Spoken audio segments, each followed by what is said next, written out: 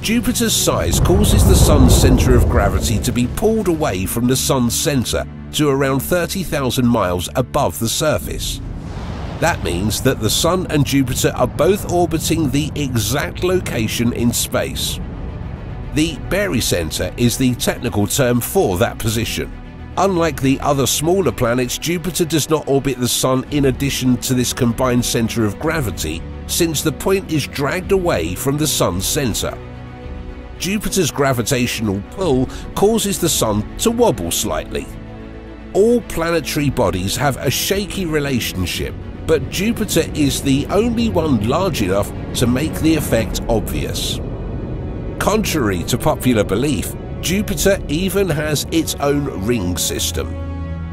If you have everyone draw the planets, you'll probably end up with some big ones, some small ones, and just one with rings, which